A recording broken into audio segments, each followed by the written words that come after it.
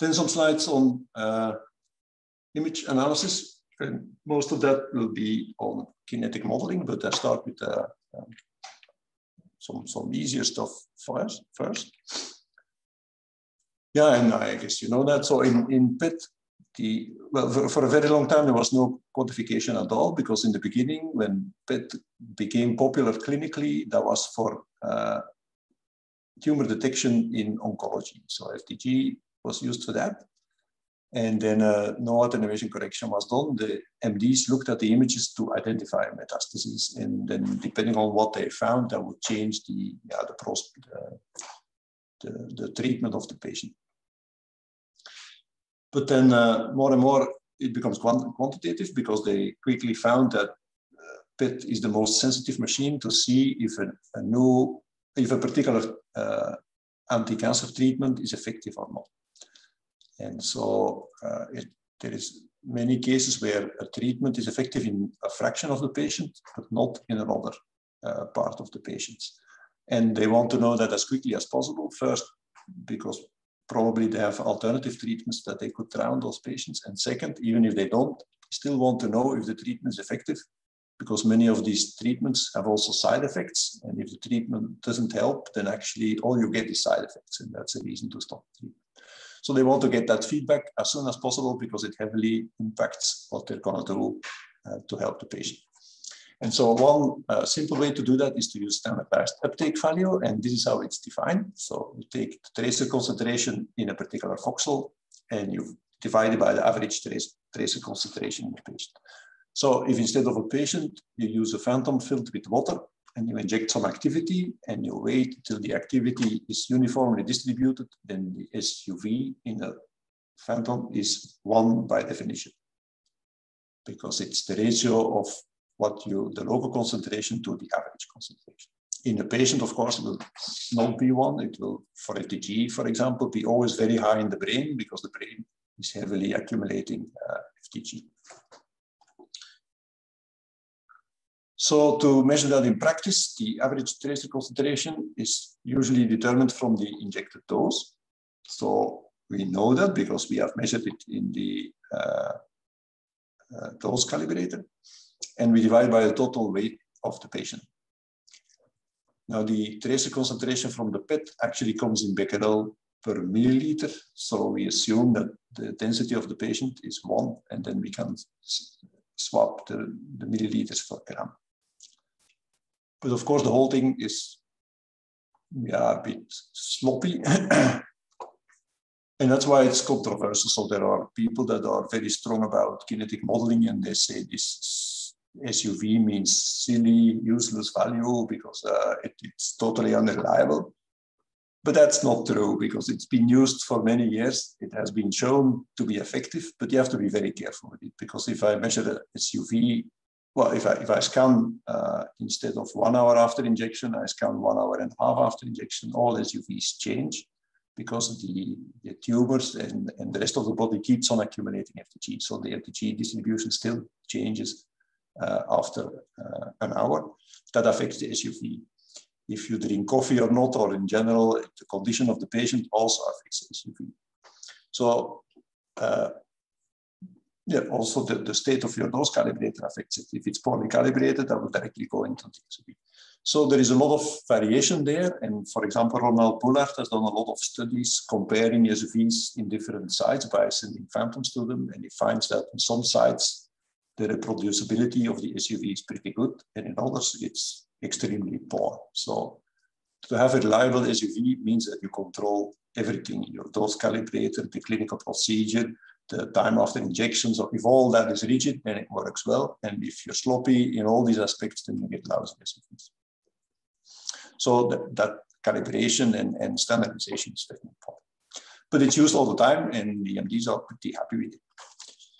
So, but we should be stressed about it because the, the medical doctors, they if they see an SUV change of 10% or more, they start uh, taking that serious.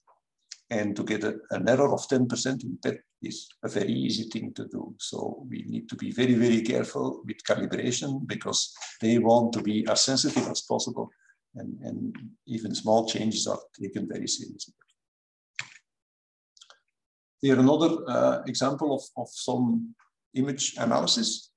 And I used um, the images of the heart because a, very long time ago I've been working on, on developing cardiac software. Instead, I could have picked brain or, or, or oncology examples too.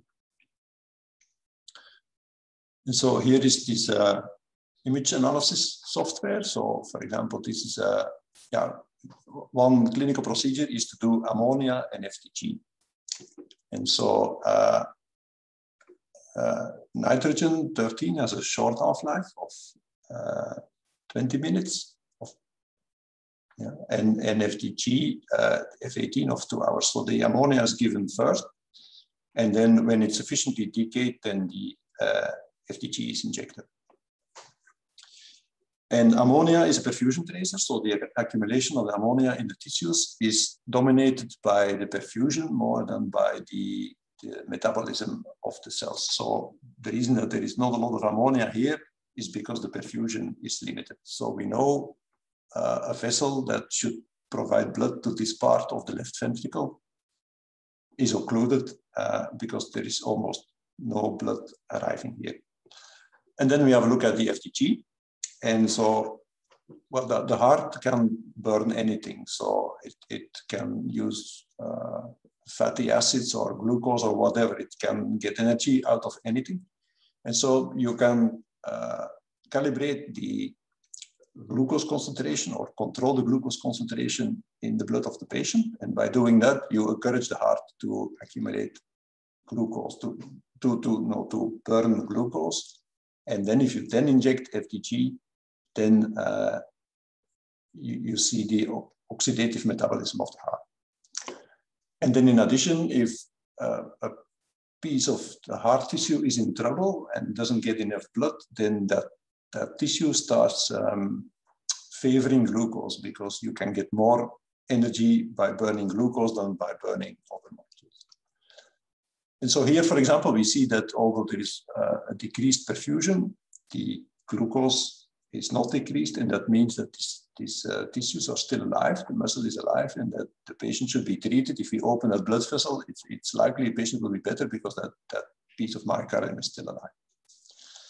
Now you could analyze the 3D images, but instead, often 2D images are made, and that's easier because you, you can see everything in, in one uh, 2D image.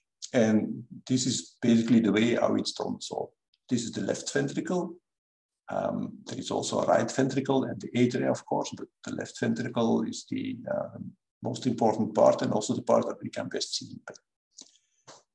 And so you take the left ventricle and you basically open it up and flatten it.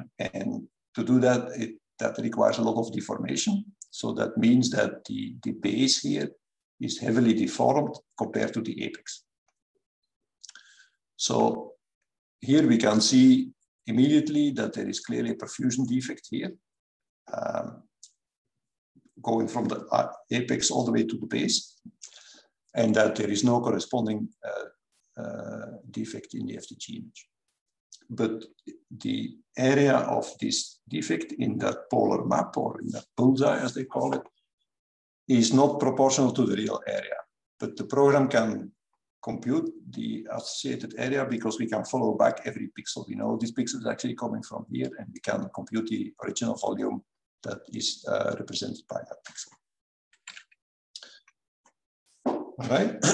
and so again, uh, once we have images like that, we have the ammonia image, the FDG image, then you can do all kinds of analysis. And in the literature, thresholds have been proposed and investigated to decide if, if we should conclude that this is viable tissue and therefore uh, intervention is required, or that um, this is scar, meaning that yeah, an old infarction, if that tissue died, then in the FDG would also be dark, just like here. And then we know that almost certainly the tissue is dead and treatment will not help anymore.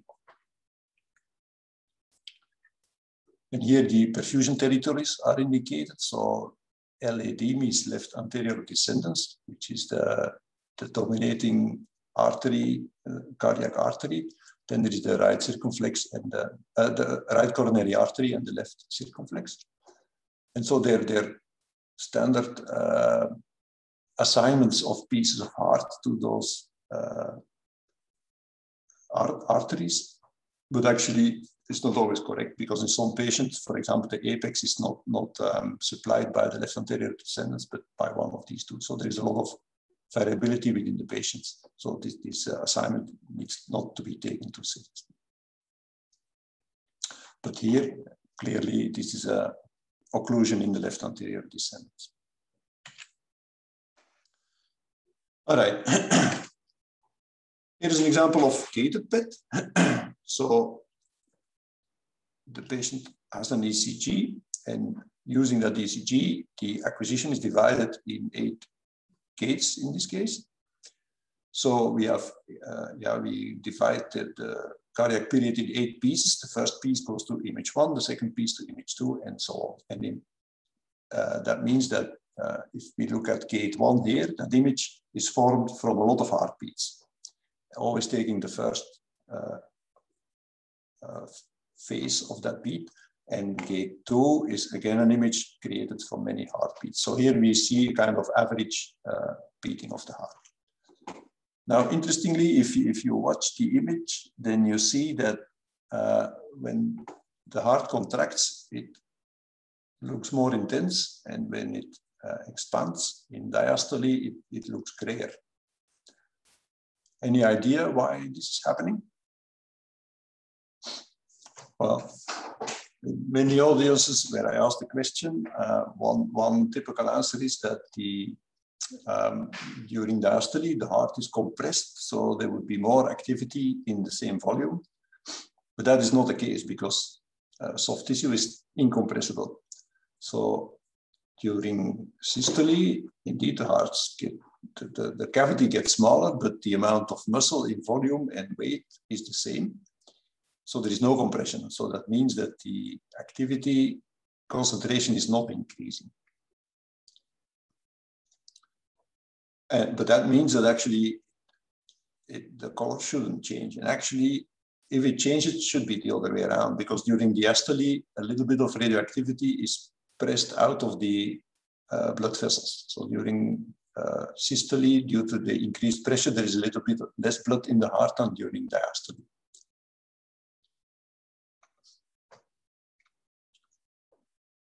So the, the reason for this uh, happening is the uh, partial volume effect. So recall this slide. so here I've put some, uh, these, these represent the radioactive disks. And if you would uh, image them, then you have to decide um, about your pixel size, which we can in, in SPECT and PET, we can freely choose that. And of course, in a single pixel, you have only one value. So you see there is pixels here that have part of the object and part of the background. We cannot put two values there, so we just put one value, which is then typically the average of the two or the sum of the two. And that means that just by using pixels of finite size, we have an incorrect representation of the activity, even if everything else would be correct. And so we see that if the object is pretty small compared to the pixel size, then the size of the object is often overestimated and the activity is underestimated. The total activity, so the, the mean times the, the, volume is still okay because the photons have not escaped, they have been detected, we just didn't put them in, in the right place. If the objects get larger and larger, then you see that it, yeah, most of the object is then inside where everything is fine. The edge still has, has problems, but in large objects, the amount of edge is relatively small. So there we don't have the problem. And now the heart is operating here. The, the wall of the left ventricle is about one centimeter. So it changes from less than a centimeter to more than a centimeter during beating. And in diastole, it is significantly thinner in most patients and in most places than one centimeter. And then it starts suffering more from partial volume effect in the direction perpendicular to that wall.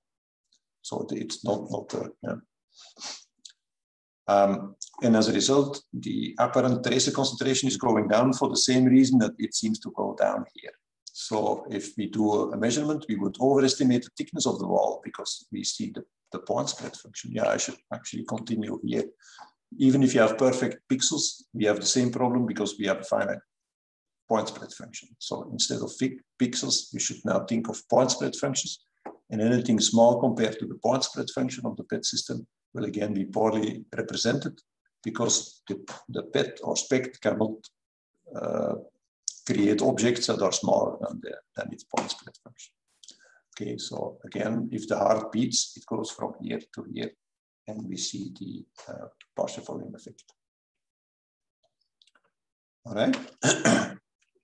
now that I'm showing these discs, uh, I'll also show this one.